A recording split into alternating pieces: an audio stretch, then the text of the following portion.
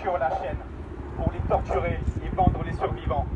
Entre un bricomarché et un McDonald's, où l'on peut d'ailleurs aussi aller s'acheter des morceaux de vache, de cochon ou de poule, qui viennent du même type d'endroit que celui-ci, des camps de concentration pour animaux, où ils ne sont là que pour la seule et unique raison qu'ils ne sont pas de la même espèce que nous. Et l'on se demande encore pourquoi ce monde va si mal. Espérez-vous y voir un semblant de justice alors que des lieux alors que des lieux comme celui-ci existent encore et que de nouveaux se construisent même chaque jour. Ici, on n'élève pas, on condamne. Ces chiennes et chiots ne connaîtront que le béton sur leurs pattes. Un sol de béton couvert de pisse et de merde. Même avec, même avec un accès à l'extérieur semblable à la cour de promenade des prisonniers. Mais ces animaux-là n'ont rien fait de mal. Condamnés d'office, avant même le jour de leur naissance. Coupables de ne pas être humains condamnés à ingérer du détergent, des pesticides ou à contracter des pathogènes mortels, tout ça pour assurer la sécurité sanitaire de l'espèce de leurs tortionnaires. MBR est par exemple très fier de communiquer sur le fait que des vaccins contre le Covid-19 aient été testés sur des chats ou des furets.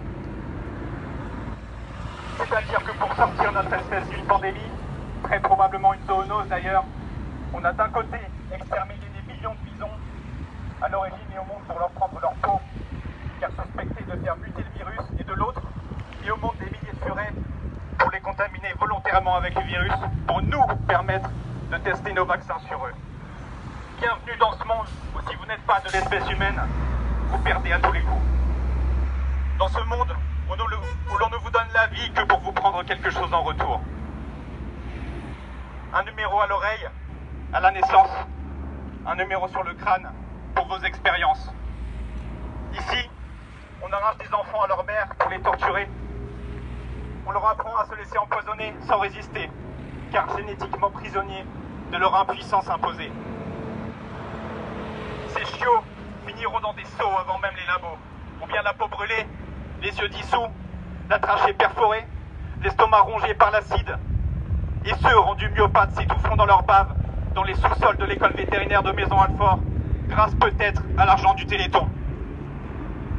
Voilà ce qu'autorise la loi dans nos sociétés.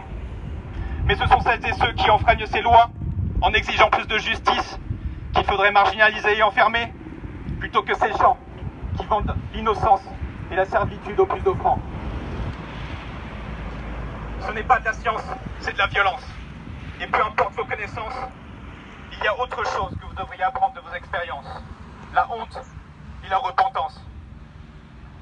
Nous avons déjà connu une période de notre histoire où on gardait des individus dans des camps, où on leur tatouait un numéro, on les, on les sélectionnait selon leur gène, et on leur infligeait tout un tas d'expériences monstrueuses. Mais on ne l'a découvert que plus tard. Aujourd'hui, ce n'est plus le cas. On sait ce qui se passe derrière ces grilles. Est-ce que cette fois, on va continuer à passer son sans rien faire continuer tranquillement nos vies?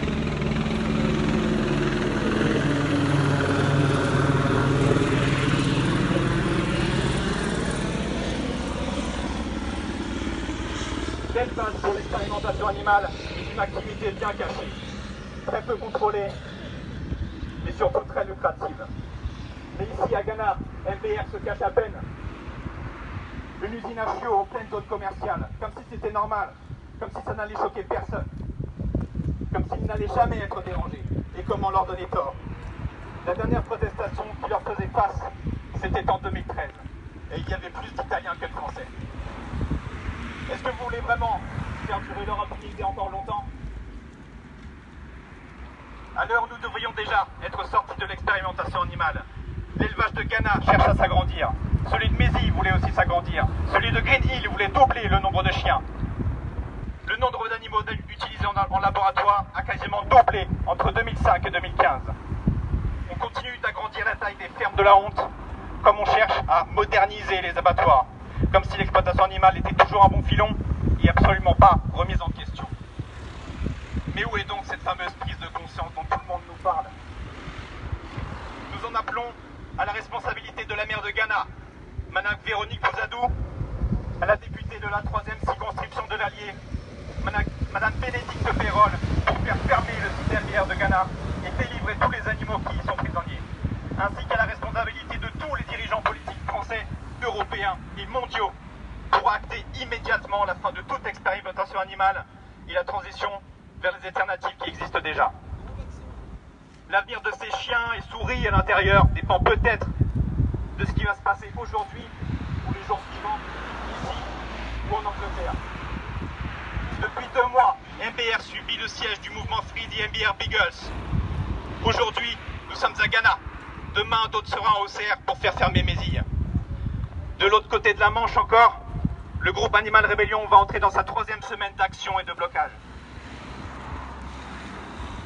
Il y a une semaine, me direz-vous, peut-être, c'était la journée mondiale pour la fin du spécisme.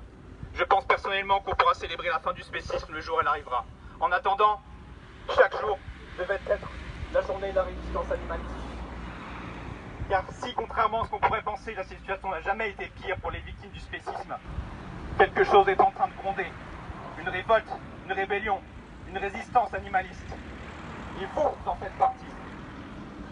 Aujourd'hui pour les Beagles de Ghana, demain pour ceux de Mézille, depuis deux mois pour ceux d'Huntington, presque dix ans après ceux de Green Hill, en Italie, on ne peut pas, on ne doit pas laisser tomber.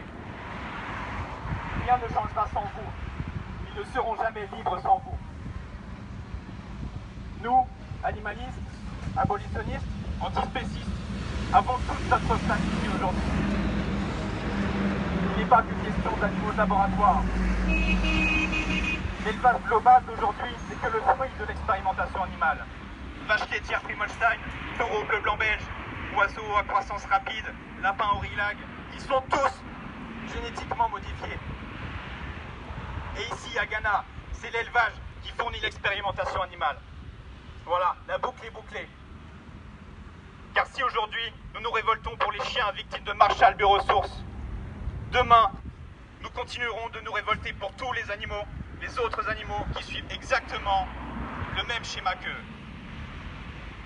Transformation génétique, situation concentrationnaire, torture inhérente à l'élevage, et ce, pour un objectif final encore plus inutile.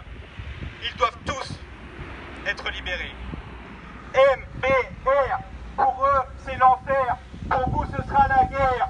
MBR, pour eux, c'est l'enfer. Pour vous, ce sera la guerre. MBR, pour eux, c'est l'enfer. Pour vous, ce sera la guerre. MBR, pour eux, c'est l'enfer. Pour vous, ce sera la guerre. MBR, pour eux, c'est l'enfer. Pour vous, ce sera la guerre. MBR, pour eux, c'est l'enfer. Pour vous, ce sera la guerre. MBR, pour eux, c'est l'enfer. Pour vous, ce sera la guerre. MBR, C'est l'enfer. pour vous, ce sera la guerre. MBR, Pour eux, c'est l'enfer. Pour vous, ce sera la guerre. Pour eux, c'est l'enfer. Pour vous, ce sera la guerre. Pour eux, c'est l'enfer. Pour vous, ce sera la guerre. Pour eux, c'est l'enfer. Pour vous, ce sera la guerre. Pour eux, c'est l'enfer. pour vous, ce sera la guerre. Pour eux, c'est l'enfer. Pour vous, ce sera la guerre.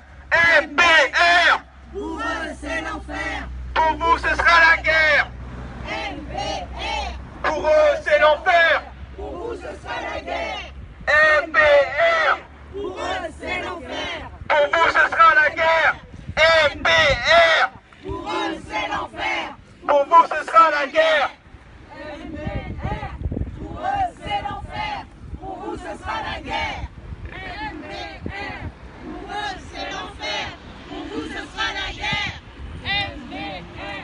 Pour eux, c'est l'enfer. Pour vous, ce sera la guerre. MBR. Pour eux, c'est l'enfer. Pour vous, ce sera la guerre. MBR. Pour eux, c'est l'enfer. Pour vous, ce sera la guerre. Pour eux, c'est l'enfer. Pour vous, ce sera la guerre. MBR, Pour eux, c'est l'enfer. Pour vous, ce sera la guerre. MBR, pour eux c'est l'enfer.